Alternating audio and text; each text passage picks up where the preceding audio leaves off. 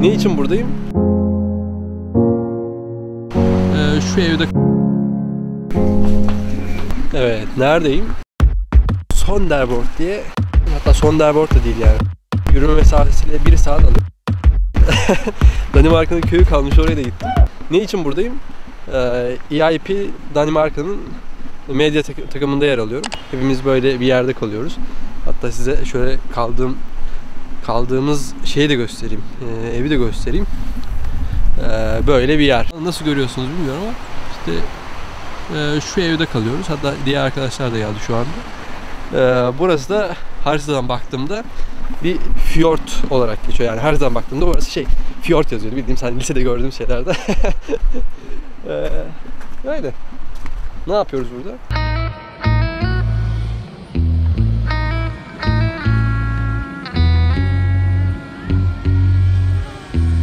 Organizasyonun amacı Avrupa Parlamentosu'nda, parlamentosunda olduğu gibi e, demokratik bir şekilde düşünceleri tartışmak ve bilmiyorum sonuca varacaklar mı? Sonuca varıp varmayacaklarını yarın e, yarın göreceğim. Ben videolardan sorumluyum.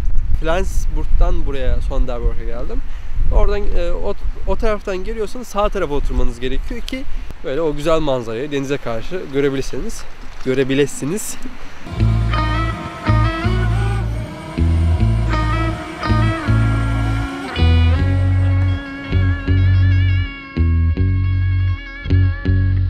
Yarın akşam yani yarın akşam pazar günü oluyor. Pazar günü akşam Flensburg'a geçeceğim. Oradan otobüsle Berlin'e, Berlin'den de uçakla malum low cost Ryanair'la e, Venedik'e dönüyorum. Treviso. Low cost. Ryanair. Flixbus. Bunlar işte yani. Böyle pembe gibi bir şey var ama ne olduğunu henüz keşfedemedim. Deniz burada anladığım kadarıyla çekilmiş.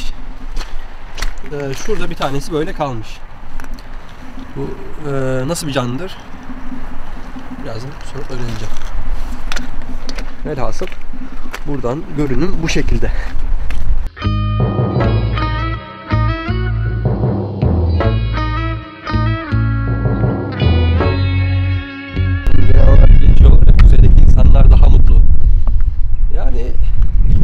Sebastian diye bir arkadaşım vardı. Tanıyanlarınız tanıyor. Beraber İstanbul filmini çekmiştik. Yani o diyor ki hani ben daha geçen hafta mesela bir arkadaşım bir tane kız gördüm köprüden atlamayı düşünen falan filan. Bunlar da evet öyle bir şey var. 6 ay gece 6 ay e, gündüz yaşanıyor. Yani tabi bizdeki gibi her gün her dakika bir olay yaşanmıyor. 6 ayda bir olay oluyor. O da ne bileyim öyle çok da bir büyük bir olay değil. O gazeteye çıkıyor yani hayatlarında büyük bir heyecan heyecan demeyeyim yani çok fazla atraksiyon yok. E, çok fazla karşılaştıkları bir durum yok. Hani Sebastian, e, arkadaşım Sebastian şöyle demişti. Yani burada izleyecek çok şey var demiş. Sürekli bir şeyler oluyor yani şehirde. Doğru söylüyor. O yüzden mutlu mu değil mi? Mutluluk nedir? Hani bu konuya, bu konuya girmeyelim.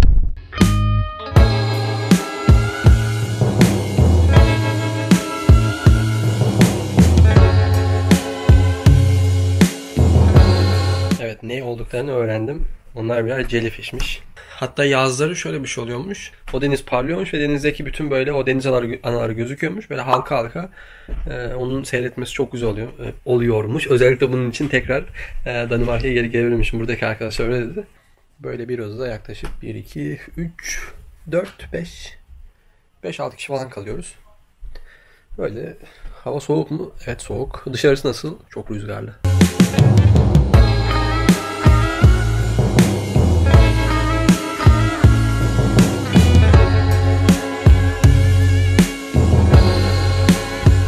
EIP'nin son günde yani pazar günü ne oldu?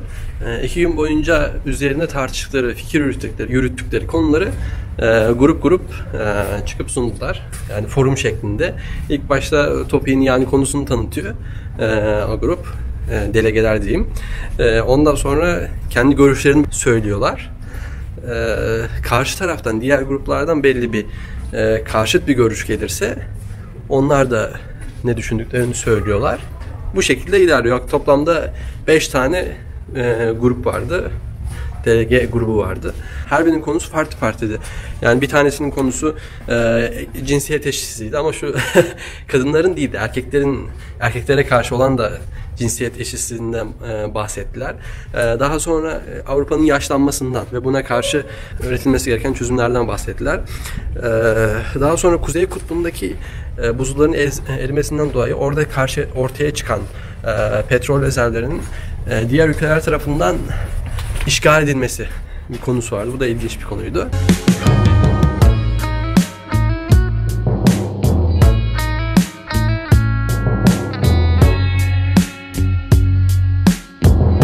İlk ne zaman ortaya çıkıyor? Yaklaşık 1900, e, bakalım 1987'de ortaya çıkıyor. Fransa'da ortaya çıkıyor. Daha sonra diğer ülkelere gidiyor. Türkiye'ye gelmesi 99'da amaçlanıyor.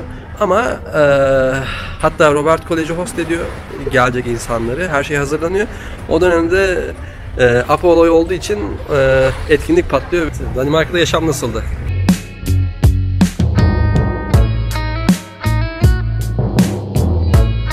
Gitmeyin arkadaşlar, gitmeyin. Aşk alırsınız diyorum. Şaka bir yana evet. Restoranlar belli bir derecede daha pahalı. Bolognese yemiştim. Şimdi İtalya'dan Danimarka'ya gidip makarna mı yediniz diyeceksiniz ama yaptıkları sos gerçekten de kapışır. Bolognese için yaklaşık bir 150, 120 TL ödemiştim evet. Ee, pizza yaklaşık 110 100 TL'den falan başlıyor. Hamburger ise 150 TL'den başlıyor. Fiyatlar bu şekilde. Ama bira ucuzdu. Yaklaşık evet 3 liraya denk geliyordu. Paylaşayım size şu, şu aynen. Ondan almıştım sağdakinden. Bir, 1 lira mı öyle bir şey. Öyle bir fark ödüyorsunuz. Daha sonra şişesini geri getirirseniz onu da geri alıyorsunuz. Çünkü güzel bir şey. Sustainability yani çevrecilik e, konusunda e, herkesin yapması gereken bir şey. Krallık olduğu için kendini biraz e, farklı konumlandırıyor. Prizler de bu konuda e, farklıydı. Herkes dalga geçiyor yani İsviçre demeyiz diye. E, üçlü bir şekilde şöyle hemen şurada şu sağ taraf hemen gösteriyorum size. Bunun için tabi adaptöre ihtiyacınız oluyor. E, değişik bir olay yani.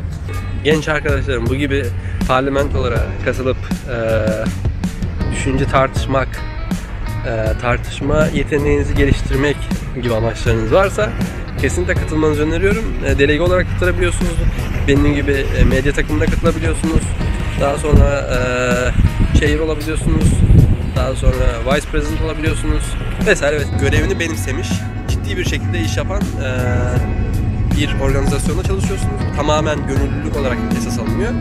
Ee, yani bunu Türkiye ile karşılaştırdığımda hani bizim e, okullarda münazaralar vesaireleri hiç bu şekilde ciddi geçtiğini, geçtiğini düşünmemiştim. Hani yani ciddi geçtiğini e, bu şekilde fark etmemiştim yani. Kendinize iyi bakın. Bir dahaki sefere görüşmek üzere. Hoşçakalın. Bye.